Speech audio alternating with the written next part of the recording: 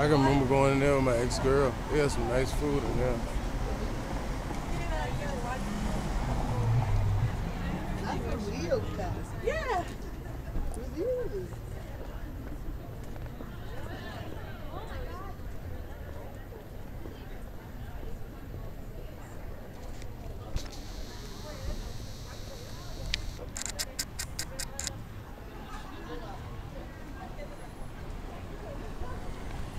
It's